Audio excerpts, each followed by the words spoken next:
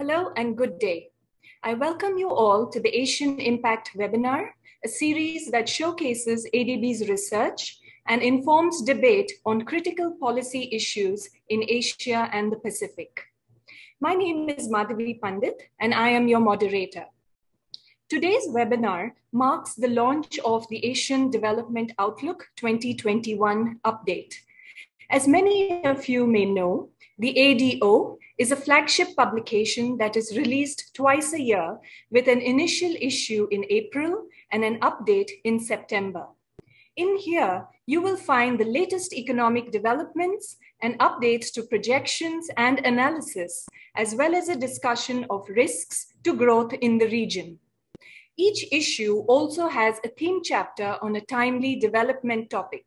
For example, the latest issue focuses on agriculture in Asia, and I encourage you all to explore the report. But today's webinar will highlight the macroeconomic outlook and risks in the region. Join me in welcoming Abdul Abiad, Director of the Macroeconomics Research Division of the Asian Development Bank, to present the key messages from ADO 2021 update. Welcome, Abdul. Thanks very much, Madhavi. So let me begin by uh, giving a, an overview of the key messages of part one of the Asian Development Outlook. This is the part that focuses on the regional outlook and risks, as Madhavi said. Um, thank you. Next slide, please. So um, let me start with those key messages. First, developing Asia continues to grapple with COVID-19 amid renewed outbreaks and unequal vaccination progress. Second, recovery paths are diverging in the region. Successful vaccination and containment strategies are boosting the recovery in some economies as they can take advantage of the broad recovery in global demand. But in other economies, growth is held back by rising infections and slow vaccin vaccination progress. Third, developing Asia's GDP growth is forecast at 7.1% in 2021. That's down slightly from the 7.3% we had in April, and at 5.4% in 2022. Despite the recent pickup, inflation will remain moderate at 2.2% in 2021 and 2.7% in 2022. Fourth, the main risks are still associated with COVID 19 including the emergence of new variants, the waning effectiveness of vaccines, and slow progress on vaccination. As, as Madhavi mentioned, we have a theme chapter, Transforming uh, Asia, Agriculture in Asia, and we will cover that in uh, an Asian Impact webinar in early November. Next slide, please. So let's begin by taking a closer look at these, uh, at these issues I mentioned. Let's begin by looking at where Asia stands in the pandemic. New and more infectious variants are driving COVID 19 waves of outbreaks across developing Asia. New COVID 19 cases in developing Asia, which are shown in the black uh, line on the left chart, peaked at 105 cases per million in May, declined to 25 in June, and then rose again to 43 cases per million in July. While the wave in May was concentrated in South Asia, that's the purple line, the most recent waves have been in Central Asia, the blue line, Southeast Asia, the brown line, and the Pacific, that's a green line. The right chart shows that vaccination progress still varies considerably within the region. Vaccinations have progressed well in the People's Republic of China and some smaller economies. Those are the bars at the top. But a large, but the share of fully vaccinated individuals is less than 30% in two thirds of the region's economies largely due to supply side constraints. For the region as a whole, 28% of developing Asia's population has been fully vaccinated, and that's well below the 52% uh, vaccination rate we have in the US and 58% in Europe. Next slide, please. The slow and uneven progress on vaccination is unfortunate because vaccines are changing the nature of the pandemic by making COVID 19 a less deadly disease. So while vaccines do not stop virus transmission entirely, they're highly protective against severe cases of COVID-19. What this chart shows is the case fatality rate on the x-axis, uh, and it shows that it declines significantly as the share of fully vaccinated people increases, and that's shown on the, on the x-axis. Vaccinations are also changing the way the governments respond to new outbreaks. When COVID-19 cases rise, policymakers typically tighten restrictions on mobility and economic activity. But analysis in our report shows that new restrictions tend to be milder in economies with higher vaccination rates. Next slide, please. Vaccinations and outbreaks are just two factors that have been shaping a, developing Asia's recovery in the first half of this year. All 10 major economies shown here recorded positive year-on-year growth in the first half of 2021. Those are the yellow dots. And that growth was higher than in the second half of 2020, which is shown by the white dots. Part of this was due to the fact that the first half of this year was being compared to a very bad first half of 2020 which helps explain, for example, India's strong growth reading, uh, which you can see in the second bar there. But pandemic control also played an important role.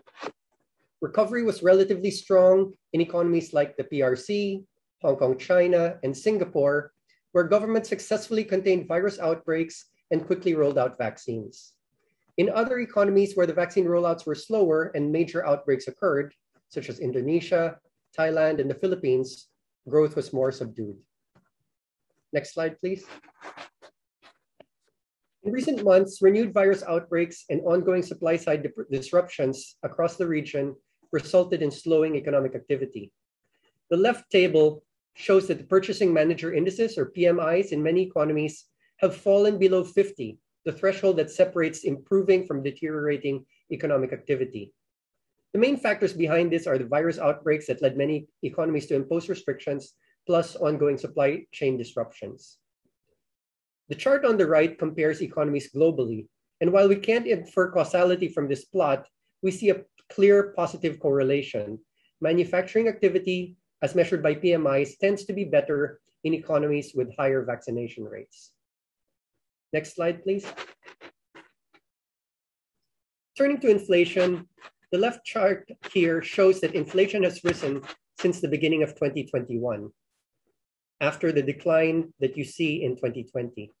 Despite this increase, inflation remains manageable in most economies in the region. For developing Asia as a whole, the black dashed line shows that headline inflation has edged up from 0.8% in January to 2.3% in June of this year. Inflation has risen in each of the subregions, but inflation rates remain relatively low in East and Southeast Asia, which are the red and blue lines, compared to South and Central Asia, which are the green and purple lines. One contributing factor to rising inflation is the increase in global food and energy prices, which can be seen on the right chart. Energy prices have risen from the lows that were reached in 2020, and global food prices are now at multi-year highs. But as we show in the report, global commodity prices are not the primary driver of price inflation in Asia, as regional and domestic factors tend to dominate.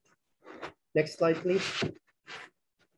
Developing Asia's recovery is being supported by the recovery in external demand, which is broadening across economies and across sectors.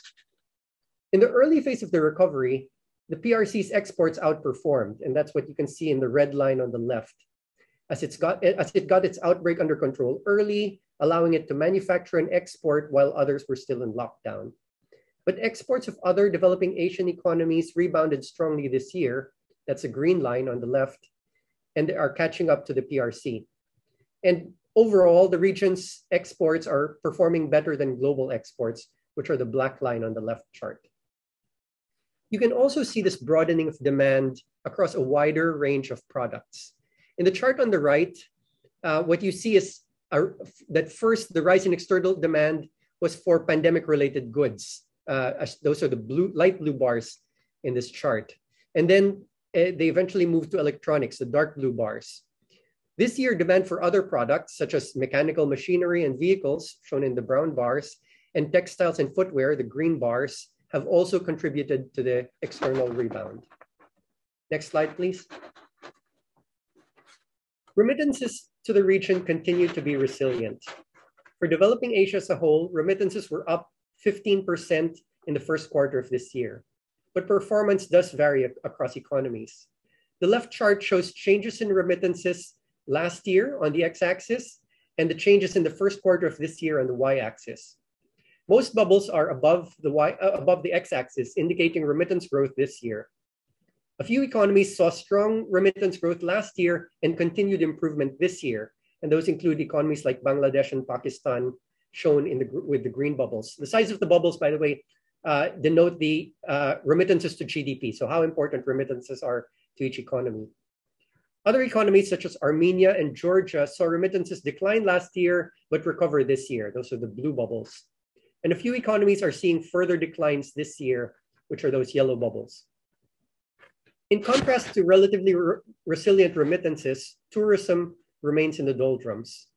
The right chart shows tourism arrivals, international tourism arrivals, still down 90 to 100% in most economies, although it has rebounded in Georgia and the Maldives, which are the red and blue lines in the right chart. These economies have adopted policies to attract tourists despite the pandemic. They also opened up earlier um, in the second half of last year and they host many tourists from Europe where vaccination progress has been good. Next slide, please. Fiscal policy in the region remains accommodative this year, with consolidation expected to occur in 2022. As shown in this chart, changes in the fiscal balance as a percent of GDP were largely negative in 2020, those as indicated by the blue bars, owing to increased spending to support the economy and falling revenues due to the pandemic. Fiscal balances are expected not to change too much this year in several economies. If you see in the chart, majority of the orange bars are slightly negative or positive. This means that many economies will avoid substantial withdrawal of fiscal support this year in a still uncertain landscape. The exceptions are the four economies that had the large, the largest fiscal impulses in 2020: Hong Kong, China, Mongolia, Brunei Darussalam, and Singapore, where fiscal balance will start, fiscal balances will start returning to more normal levels already this year. A general shift to fiscal consolidation is forecast starting in 2022, as shown by the green bars, which are positive for all economies. Next slide, please. Similarly, monetary policy stances in developing Asia remain largely expansionary. Major central banks in the region cut policy rates from March to July 2020 in response to the initial impact of COVID-19. And you can see that in the left-hand side chart. Since then, most monetary authorities have not loosened further, but neither have they reversed course and tightened. As a result, the monetary stance remains accommodative. As shown in the right-hand side chart, real interest rates obtained by adjusting nominal rates for either current, current headline inflation, the blue bars, or for forecast inflation, which are the yellow dots, uh, are generally low everywhere and are close to or below zero in many economies. Next slide, please. With substantial monetary and fiscal support in place, regional financial conditions remain stable. One can see this in Asian equity markets on the left chart, which have remained stable or have risen further this year. It's also evident in risk premiums in the region. As shown in the chart on the right, regional bond spreads relative to US yields have remained relatively stable since the second half of 2020. Next slide, please. So the growth outlook for developing Asia remains positive, but with a slight downward adjustment due to continued COVID-19 outbreaks. Regional GDP growth is forecast at 7.1% this year, marginally, marginally revised down from 7.3% in April, and growth is expected to moderate to 5.4% in 2022. But recovery paths differ across the region. Projections have been upgraded for East Asia, which has avoided large outbreaks and made better progress on vaccinations, and also in Central Asia, which is benefiting from higher commodity prices. But these are more than offset by downgraded forecasts for Southeast Asia, South Asia, and the Pacific, as key economies in these subregions struggle with domestic outbreaks and slower vaccination rollouts. Next slide, please. These divergences in growth paths are reflected in where GDP levels will be in 2022 relative to pre-COVID trends. For developing Asia as a whole, GDP next year will be 2.5% below the pre-COVID trend, but the gap varies substantially across subregions. East Asia avoided contraction last year, and with its strong performance this year, GDP in that subregion will be close to pre-COVID trend, just 0.7% below. Um, gaps are wider elsewhere in the region. Southeast Asia has the largest gap, that's 8.6%, as large GDP contractions last year are compounded by a recovery this year that's still held back by COVID outbreaks. A similar story holds for the other subregions to varying degrees. Next slide, please. Even with our modest growth forecasts, risks to the region's outlook remain tilted to the downside. COVID-19 remains the biggest risk. Continuing outbreaks may be driven by new vi various virus variants, slower than expected vaccine rollouts, or the waning effectiveness of vaccines. And this could hamper economic recovery as we've already seen this year. At the same time, policies must pay heed to other risks. Geopolitical tensions remain elevated. Global supply chain disruptions could hinder recovery in manufacturing. And normalizing monetary policy in the US and other advanced economies, which is uh, coming soon, could affect financial markets here through capital outflows and currency depreciations for some regional economies. Taking a longer view, policymakers must refocus on the continued hazard, uh, the continued risk of hazards from, from climate change. Next slide, please. So let me just close by circling back to the outlook. Um, basically, we our general feeling is that there's hope for developing Asia's recovery. You know, seven seven percent growth is is quite good. Um, successful vaccine rollouts are turning COVID-19 COVID-19 into a less deadly disease. And this is changing the nature of the pandemic. Where vaccination, vaccinations have progressed most rapidly, a greater degree of normalcy in people's lives can return, along with a pickup in economic activity. Although there's a risk of resurgent waves from new variants, government policies must go beyond containment and vaccinations in the months ahead. Support for businesses and households need to continue, and uh, we also need to plan for the new normal once the pandemic subsides.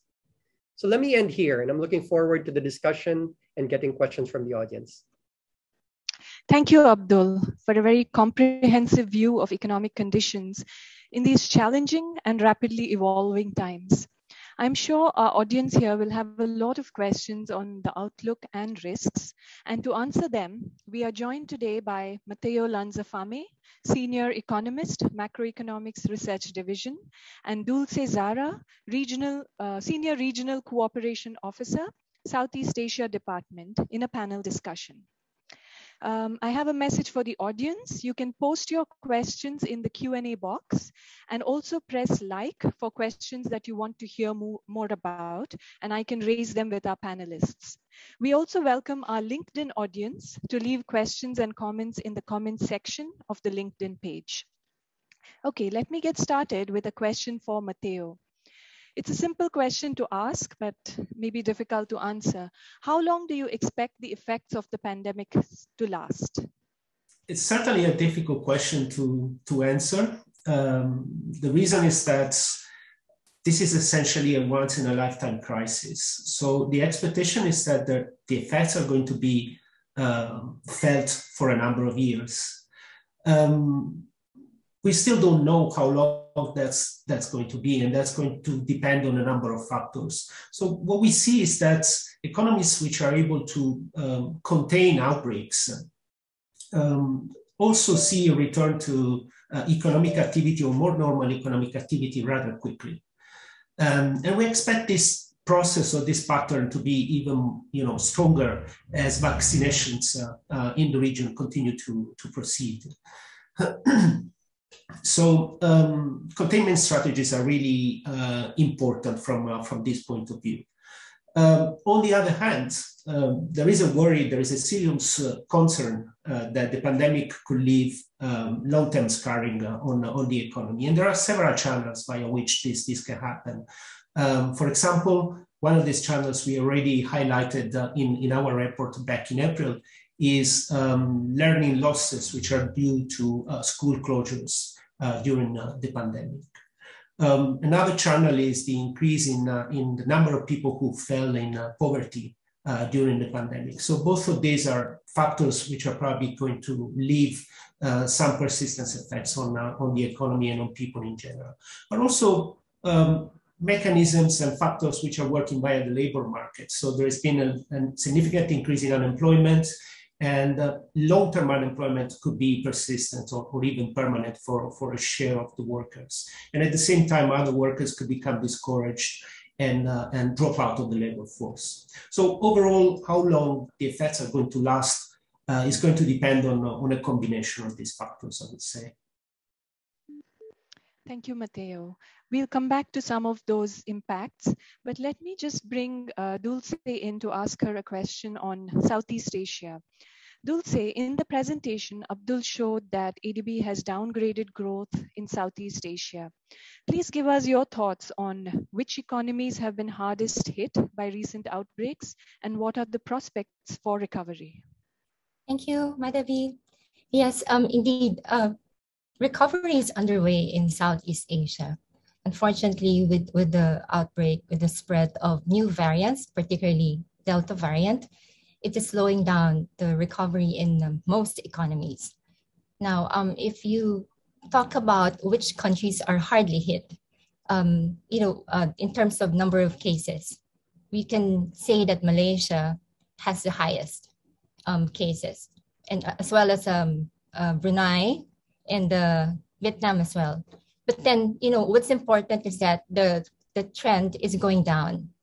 And it, this is because the, the governments are ramping up efforts to roll out their vaccination programs. One in- interesting story is for Vietnam, you know, which was a, a stellar performer in 2020. But then now we see it uh, suffering. Um, it, it's hardly it's hit hardly hit by the by the Delta variant.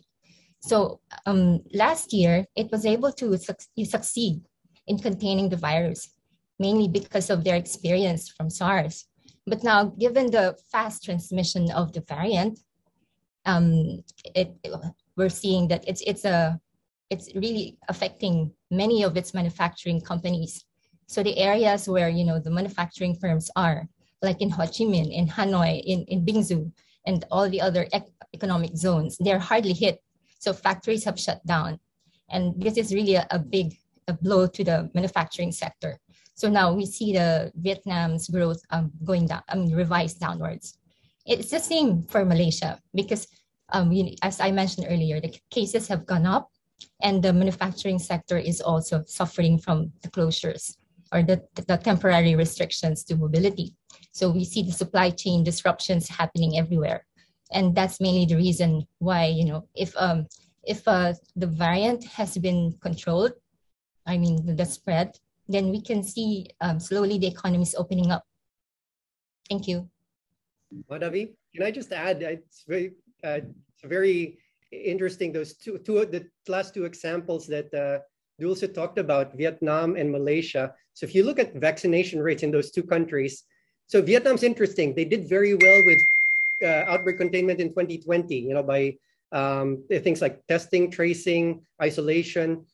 Um, but in terms of vaccination, they've been quite slow. Uh, 6%, only 6% of the 7% of the population is fully vaccinated at this stage. So they're, ones, they're ones, one, one of the ones at the bottom end of that chart I showed earlier. And so that, and so obviously with this more infectious Delta variant, um, even with the controls they had in, in the past, they haven't been able to avoid a domestic outbreak. In the case of Malaysia, if you look at the numbers, we were puzzled by this when we were doing the report because in Malaysia's case, uh, vaccination rates are above 40%. So more than 40% of the population is fully vaccinated. And yet they were struggling. And so when we took a closer look, what happened was that um, Malaysia, Malaysia's vaccination drive accelerated uh, in late July, but that was too late to stop the Delta driven wave that started earlier that month. So despite making good progress, they still weren't able to beat it, and they did have a domestic outbreak that led to a lot of controls with factory with res- factories being restricted to like 60% output and things like that. So again, I guess the point is that vaccinations they're great, but uh, it's really this is it's really a difficult situation when you have something as infectious as, as the Delta variant. Yeah, if, if I may add, you know, in terms of vaccination, smaller population, I mean, countries with smaller population are succeeding in terms of reaching the, the targeted population, um, uh, let's say 80% of the targeted population. So that includes Malaysia, Cambodia, Singapore, of course, and Brunei. But then when, when we look at um, Vietnam, Philippines, Indonesia, they're lagging behind. So they only have less than 30% of the population vaccinated. That includes both um, fully and partially vaccinated. So that's the reason why the, the growth is really slowing down in those economies. Indeed, it's very interesting how there is so much variation within Southeast Asia. Let me turn to another topic that is on everybody's mind. Uh, that's regarding fiscal and debt situation. So one is that um, maybe Abdul, you can start with this. With elevated fiscal deficits and still still fragile econo economic recovery in the region, is there sufficient space for stimulus spending with debt sustainability risk not becoming a major concern? And secondly, um, what should be the exit strategy? When should government start either cutting spending or raising taxes to bring debt down? Sure. Thanks very much, Madhavi. Um, so it's true. Public debts have risen. Uh, well, that's that's a reflection of the uh, increase in fiscal deficits we saw in in the slide I showed earlier. Um, so public debt has risen in almost all economies in the region uh, last year. Um, and yeah, so there's been a lot of talk. How worried should we be? Uh, should should countries start consolidating? So one point uh, we make in the report, and we show this, is that despite the increase in uh, in public debt to GDP levels, for most economies, uh, public debt remains below 60% of GDP. That's a frequent rule of thumb used by uh, uh, by economists to you know to let you know whether you know, whether you should start worrying or not. Um, so and, and that largely reflects the fact that many developing Asian economies were relatively prudent uh, with their public finances in the years prior to the pandemic. So they were able to use that space to respond to the pandemic. And should countries start consolidating this year? Not really. I, I, as, as hopefully you've taken away from the discussion so far, it's still a very fragile recovery. And most of our economies still need continued support, both from on the fiscal side and on the monetary side. Uh, one of the lessons uh, that we can learn from the, the, global financial crisis, for example, were is, is the dangers of premature fiscal consolidation. So uh, you know you can sort of derail a recovery by by uh, uh, by starting to consolidate too early. So you really need to wait until the recovery is well entrenched before you start doing that. So I can see from the question posted in the Q and A, uh, you know, for the Philippines, authorities are now looking at consolidation in 2020 in 2022 to 2023. That, that sounds about right. And as you saw in the chart I showed, that's sort of the timetable that uh, other economies are looking at as well. Thank you. Since you mentioned the Philippines, maybe I can ask the uh, question that's here again on everybody's mind. How do the upcoming Philippines elections in 2022 affect the country's outlook? Abdul? Oh, uh, you want to you want to toss it to me? Yeah, okay. I'm oh, okay. Would Dulce like to take it? Dulce, do you want to take it first, or I'm happy to take it too, whichever. Sure, Abdul. Okay. Um, we uh, we considered it in our outlook, but um, we, we don't see a major impact on the outlook simply because the economy is on its track recovery path. And um, we and it, it's it is seen to be ramping up next next year with the investments in infrastructure. So right.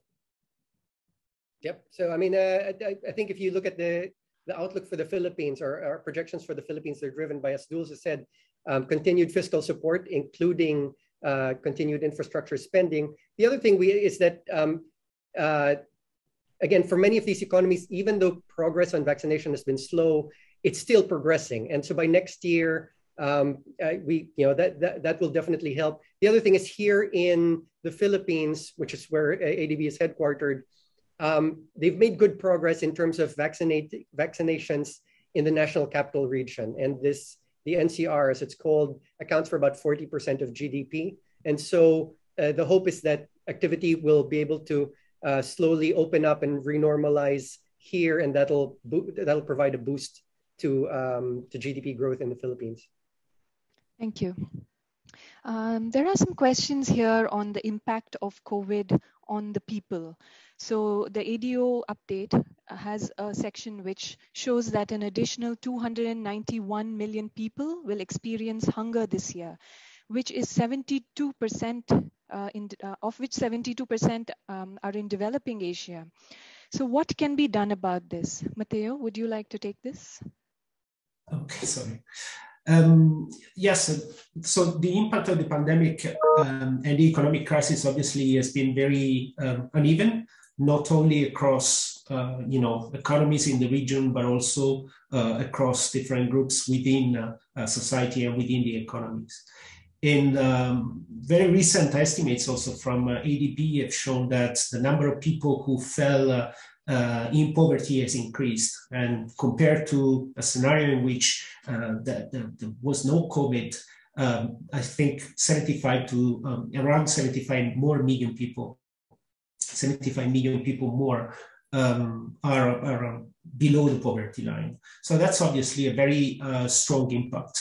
From the point of view of policy, uh, this is one of the things that maybe Abdul was mentioning before as well, is that fiscal uh, policy in particular uh, needs to remain accommodative and needs to continue supporting the economy, but not, not only the economy in general, but the most vulnerable groups, so the poor households who are um, struggling at the moment. And uh, the hope is that the recovery is going to lift uh, up incomes and is going to provide uh, um, an increasing number of jobs to people to people who lost their jobs, and so increase um, disposable income for for people who are um, at the moment struggling. Thank you. Um, maybe we can move a little bit to monetary policy, um, and I would like to get your insights on uh, what should um, the central banks be doing at this time. I would say that um, again is something that uh, was already starting to discuss. Um, so, from the presentation, we've seen that monetary policy remains essentially broadly expansionary across um, the regional economies. Um, so, we saw last year, obviously, a um, significant number of uh, policy rate cuts, and this year, essentially, most central banks have stayed their hands. So, no hikes, uh, except for uh, two or three different uh, um, economies where you have particular uh, monetary conditions and inflationary pressures. Um, that's the right policy stance, policy stance at the moment, again, because we, we are in a very uncertain environment and we are in a situation in which the recovery is not, is not on sound uh, feet yet, it's still uh, fragile. Um, in terms of um, you know, possible worries or concerns uh, uh, regarding inflationary pressures, because this is something that uh, um, can come up and maybe discussed when you have such a, you know, expansionary monetary policy. We really don't see any reason to be uh, overly worried at the moment. So we don't see any significant inflationary pressures uh, uh, in the region as a whole. There are some um, countries or economies in, in Central Asia where inflation rates uh, either core inflation or headline inflation are already uh, above inflation uh, rates for, for the central banks. For, but for most of the regions, we see that inflation rates are still uh, very close to the inflation target or within uh, the inflation target band. So based on this evidence at the moment, there is no, you know, again, uh, strong reason to be worried about inflationary pressures building. And so monetary policy can remain and should remain accommodative until the recovery is, is well entrenched. Thank you. Thank you. Uh, there are some questions that I think want to seek elaboration on the baseline assumptions on the pandemic for growth projections. Um, Abdul, maybe you can weigh in on that. Sure. Um, the, the main assumptions are that vaccination progress will continue uh, as, as, it, as it has, um, and that, uh, that, will, uh, that will help countries avoid having to impose uh, large scale lockdowns. Uh, so those that is still a possibility, and that's why we put it as a risk, uh, right? So it's possible that even with continued rollout of vaccines, either either the progress on vaccines is slower, uh, or those vac- uh, vaccines become uh, less effective, or there are new variants that um, you know that are more infect more infectious, or that prove um, I don't know, uh, more resistant to, to vaccinations. So, but yeah, so the baseline is continued vaccination, uh, no serious outbreaks. And for those that currently have outbreaks that they'll they'll be able to get them under control. Was the question just about assumptions on uh, on the pandemic and vaccines, or was it on other stuff? Just the pandemic. Yeah. Um, this is another issue that I think many countries in our region are worrying about, which is the prospects for tourism sector in the region. Maybe I'll start with Dulce, who can give a perspective for Southeast Asia.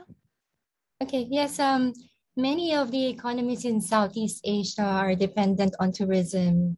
And clearly this is one of the main reasons why, you know, growth is uh, not really picking up. Now, um, you know, compared to 2019, where there were many there were 144 million international tourist arrivals, we see you know, at this point 99, 90 to 99% below that level. So you can see that the many of the, the businesses are related to tourism are suffering. But then, you know, services in general, we still have the retail and trade, they're slowly picking up, financial services and also um, digital services, BPO in the case of the Philippines. So those are um, contributing to the growth as well. But for us, for um, you know, outlook for tourism, we don't see them really picking up this year. Although some of the countries like um, Vietnam, Indonesia, and, and Thailand, they're starting to roll out some programs in order to invite um, at least fully vaccinated tourists to come over and um, and spend you know uh, the needed break, so to speak and but we don't see them really picking up this year. So hopefully, with the uh, with the rollout of vaccination in most of these key cities, because the important is that the key cities are you know um, are really uh, um, ramping up and uh, rolling out the vaccination, provided the, the the there is no shortage of vaccines, of course. So for next year, it it may pick up a bit for domestic tourism, but we see international tourism picking up probably in 2023 and beyond. Thank you. Madhavi, can I add some uh, just on tourism more generally? Um, so uh, we, we've we've looked at this uh, in uh, within the ADB um, uh, this issue because it is critical to many of our economies. Uh, so one is uh, you know Dulce mentioned domestic tourism. So in some cases, um, it's possible for domestic tourism to at least you know, to substitute. You know, if people can't go out, maybe they'll travel within the country, and that can help. Uh, mitigate the impact of the loss in international uh, tourism. Obviously, the size of the domestic market differs a lot.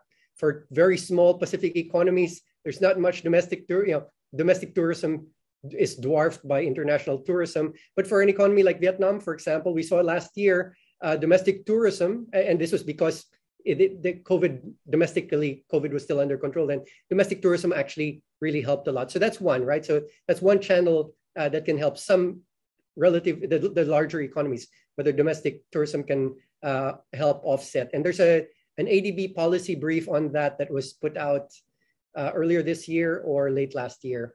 Another thing that's been considered uh, is uh, tourism bubbles, and uh, several Pacific economies explored that with Australia and New Zealand. There's uh, and I think uh, within East Asia as well, and uh, in parts of Southeast Asia. So various uh, groups have explored, uh, country groups have explored the possibility of uh, these tourism bubbles.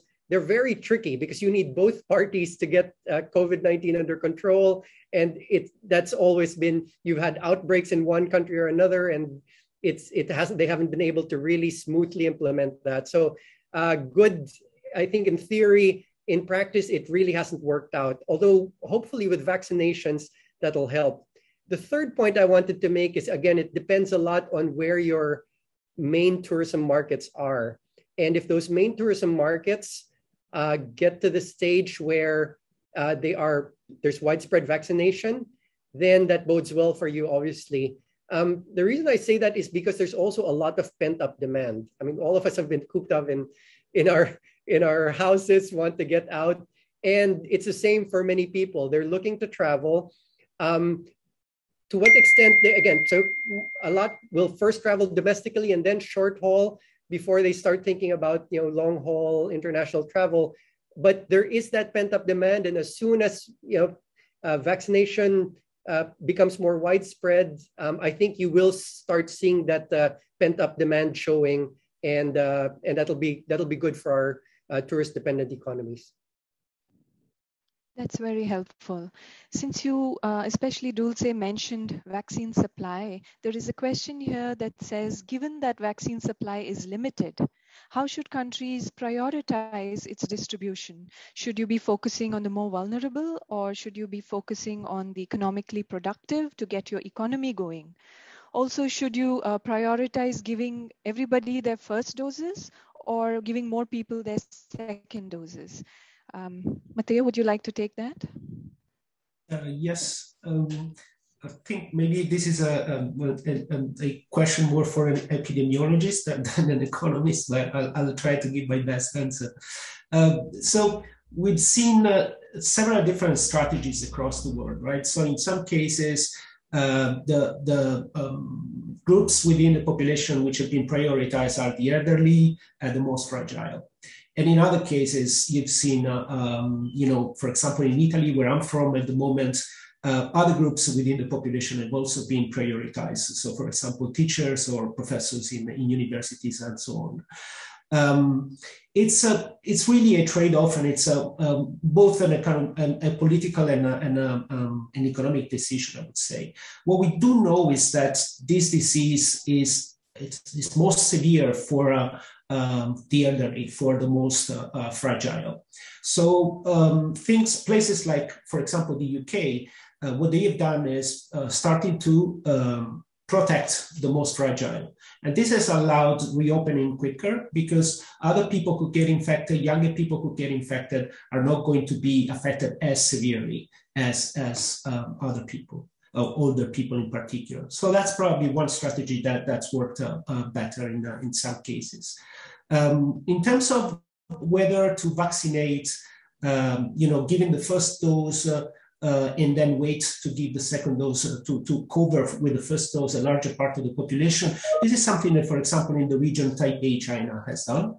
And uh, it's uh, again uh, um, a question of you know well pondering the trade-off uh, between doing this and going for two doses. What we do know, the evidence at least that we have about vaccines is that the first dose is already uh, protective. So you have a certain level of immunity. It's going to be boosted by the second dose, but you're already protecting, uh, again, uh, the most fragile people, for example, or the older people with uh, some level of immunity. So I would say that that's um, probably the best choice at the moment.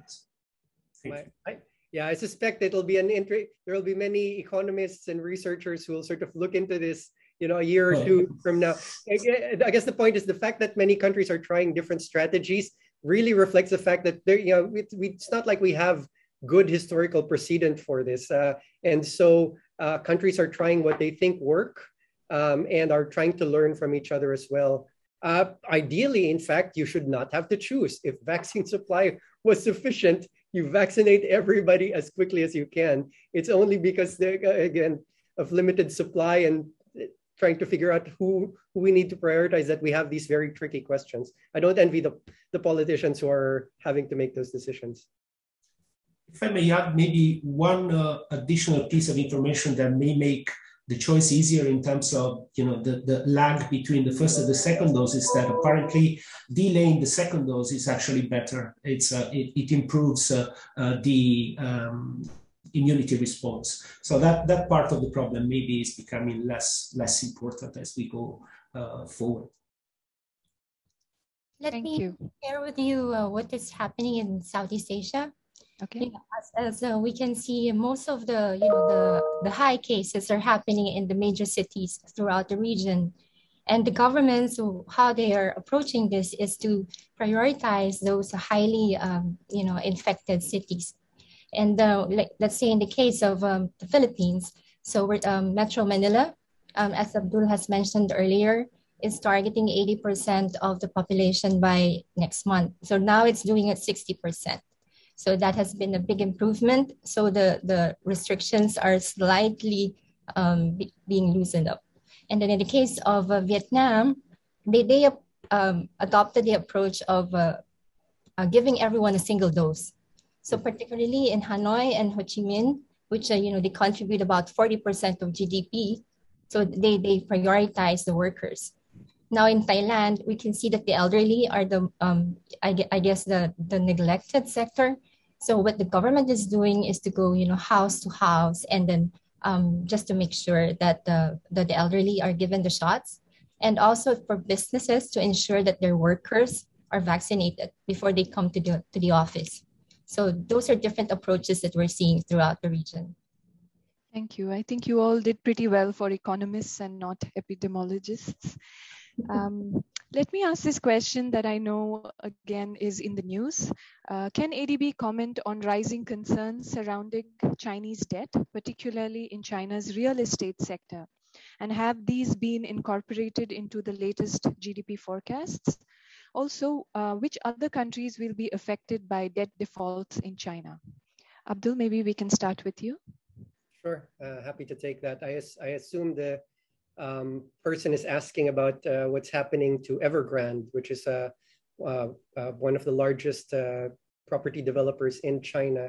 It's been in the news a lot, uh, especially in the last week or so. Um, so, well, to answer one of your questions, Madhavi, it's not in our forecast. A lot of this really happened just this month, and our data cut off for the Asian Development Outlook was uh, August 31st. So everything that happened after in September is not incorporated in our forecasts. Um, it definitely bears careful monitoring um, for a couple of reasons. One is, uh, as I said, you know, uh, Evergrande is uh, one of the biggest participants in China's uh, property sector, and the property sector itself is very important in China's economy. Um, it, uh, housing accounts for a substantial chunk of household wealth over there. So if something happens to property, if, something happens to property prices, that can affect um, uh, consumption through wealth effects. Um, three reasons why that give some reassurance that uh, we shouldn't be overly worried. First is that this isn't a surprise. I mean, the fact that uh, um, this is happening actually reflects policy actions by the Chinese authorities. So uh, the Chinese authorities have for several years now been aware of growing financial growing risks uh, in in the economy, in particular financial risks. Uh, again, uh, rising debt, and and the property sector is where that debt has risen the most. So they imposed they, they were called the three red lines, sort of uh, um, limitations on how much debt could be taken on, and um, part of Evergrande's problems is in in trying is in trying to um, fulfill those conditions, uh, they can't sort of keep rolling over. So, um, so, so that's one. It's a, it's not a surprise. This is really happening precisely because uh, the, the, Chinese government is trying to head off uh, risks in the sector. The second is that um, if you look at the banking sector as a whole in China, capital buffers are um, are quite good and can absorb a shock of the size of Evergrande. Um, what they need to avoid is, uh, you know, the, the, kind of liquidity freeze or liquidity squeeze in interbank markets. Uh, and uh, they're addressing that. For example, the, the PBOC actually uh, injected liquidity of about $14 billion last Friday. Um, so um, that's, that's the other reason that uh, um, the banking system as a whole uh, that has capital buffers to absorb um, any problems. The third is that there that the the Chinese government has many policy levers. So uh, there's more control over what happens in the economy uh, in China than in, in other economies, right? Many of the banks are um, uh, are state owned, uh, and many of the uh, other participants in in in key sectors in the economy are also state owned. So there are many levers that they can use. So um, uh, having said that, again, we, we really need to monitor carefully just to make sure that um, you know things don't spread beyond Evergrande. We, we're already seeing this, right? So if you look at the high yield bonds uh, more uh, in in the region, uh, yields have gone up. Uh, equity markets uh, have fallen in response. This tends to happen. financial markets tend to react to these things. we'll see whether they stabilize. But so what we need to watch out for are again sort of freezing of financial markets and uh, sort of contagion to other developers or to financial markets more generally. Thank you, Abdul. Um, there are a few in the audience interested about uh, rising shipping costs. So the report has a chart showing international shipping costs rising eightfold from pre-pandemic levels. Why is this happening? What does it mean for global trade, economic activity in general, and also for inflation? Matteo, would you like to take this, please? Um, so we have a box actually on uh, on uh, um, two particular sectors which are really affected by um, disruptions in, uh, in shipping and also more generally supply side disruptions. So what is happening is that you have um, essentially a mismatch between uh, increasing demand on, on the one hand as the uh, global economy is recovering from uh, last year's crisis and on the other side you have uh, uh, supply and production which are more rigid. So supply is, is essentially being disrupted by, by COVID-19 last year and, and still this year. And this is creating some tension between the two forces, between demand and, and supply. And this is resulting in, uh, in an increase in uh, uh, shipping rates and uh, several other uh, supply side disruptions again. These are affecting particular sectors. I was mentioning before electronics, semiconductors, and of course, you know, these effects on particular sectors are going to uh, have spillovers on uh, other parts of global value chains. So for example, uh, the automotive sector is being affected quite significantly, but also other sectors as well. Um, how long are these going to last is again something that is not easy to forecast at the moment. Initially, the, the expectation was for, was for, for these disruptions to be really temporary and be over in, in the space of a few months. But now we've seen that essentially these are more persistent than initially expected. So it's going to take some time uh, for uh, uh, supply to completely adapt to, to the increase in demand. Um, but uh, you know the, the adjustment is going to come uh, forward um, in the next uh, few months. Um, at least this is the current expectation. And finally, with respect to the impact on, on inflation, it's a different story when you look at the impact in advanced economies and say emerging economies and especially in Asia. So the products that I was mentioning before, uh, for example, electronics or automotives and so on, uh, shipping costs are really a marginal uh, part of, of you know the production cost for uh, for these sectors. So we don't really expect any significant impact from these supply side disruptions on uh, on uh, prices in in developing Asia. Thank you. Madhavi, if I can just make one addition to what Ma Matteo said. So yeah, just it's important to distinguish. So Matteo had mentioned right disruptions in shipping. That's one disruptions in uh, semiconductors. Uh, it's another. And how quickly those resolve, they're probably different. I would suspect that uh, in shipping, uh, Matteo had mentioned that a lot of this is actually on the demand side, that demand is just getting ahead of uh, available supply. Some of it is also on the supply side. You had closures of certain uh, ports in China, um, again, COVID related. Um, but the expectation would be that these shipping should resolve uh, more easily. With semiconductors, there are varying opinions, but it could be longer in part because ramping up semiconductor capacity is not very easy. It takes a while to build uh, uh, increased um, uh, to, to, to, yeah to build you know new factories. Uh, I think part of it again here as well. There's a demand side story and a supply side story. on the supply side, you had things like drought in Taipei, China, the cold snap in uh, Texas, uh, contributing to lower production of uh, semiconductors. On the supply side, same thing, a big increase in demand because we're now using a lot more electronics for work from home, uh, remote learning, etc. And to the extent that that demand is sustained and you need to increase capacity in the semiconductor industry more generally, it'll take a while for that to build. So at least, again, we're not specialists in that sector, but uh, industry uh, um, specialists who focus on semiconductors say it, it'll be 2022, in some cases 2023, uh, for, for that uh, capacity to ramp up. Thank you, Matteo and Abdul. I want to turn the focus on um, uneven recovery again. So there's a question here that says, we hear a lot about build back greener. Do you foresee ESG trends to be part of the recovery or do you see a reversal in gains made in the past few years? And also there is a similar question that says the participation of women in labor force, where many studies have documented that the impact has been harsher on women. So uh, in all these aspects, do you see that we'll go forward or do you think there's going to be some reversal? Who would like to take this question? I'm happy to, to take the ESG question if, uh, and then uh, I'll leave uh, participation of women uh, or the impact on women uh, to Matteo and Dulce. Um, so on ESG, we actually did a report on that in our April uh, uh, Asian Development Outlook report. The theme chapter was on green and social finance. And what we documented there was, again, this uh, uh increasing trend uh, toward use of uh, green and social finance, or ESG um, more generally.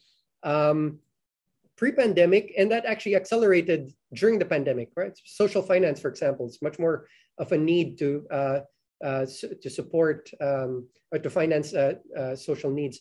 So I would expect that to continue. There's uh, uh, both because of the pandemic, but because of other longer-term trends, right? the issue of climate change will continue to grow over the coming years. So if anything, I, I expect that that will continue, if not, and, and likely accelerate over the coming years.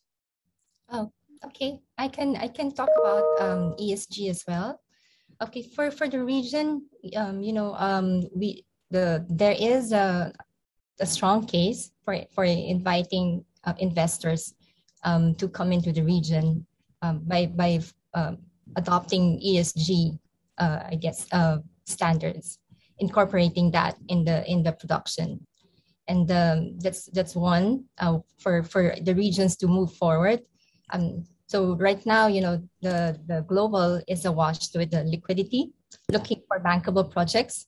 And this is one area that the southeast asia you know the governments in the region can can uh, start looking into and uh, developing frameworks to encourage financing towards green projects and also for for the women we know that, um, and I think this has, this has been covered by ADO in previous studies uh, or previous publications that women are mostly affected by COVID. And therefore, there is also a strong case to come up with the measures to ensure that the women are, are uh, given jobs, incomes, and to, to help them become productive once again.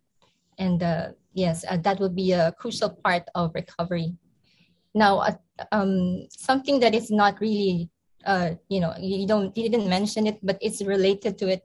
Funding, funding the the projects for ESG. I, I know the the governments are trying to find ways to finance um, recovery, right? And the, it is important at this point that they, they look into the domestic resource mobilization. And the, that is one critical part in order to push for green recovery, to improve the the mobilizing resources.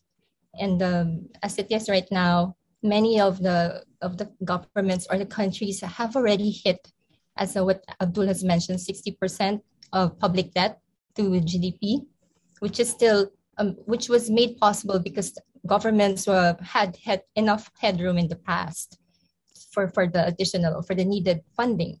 But then now more than ever, so efforts should be concentrated on how to expand tax bases, um, you know, taxing the wealth, property, digital services, and of course, improving tax administration and supporting international tax cooperation. I stop here. Thank you, Dulce. Unfortunately, we are at the end of the hour, so I will um, wrap up today's panel discussion. Indeed, it has been very informative, both the webinar and the panel discussion. A big thank you to Abdul, Matteo, and Dulce for navigating us through an illuminating discussion on vaccines, policies, variants, economic recovery, and many, many other issues in the Asia and Pacific region.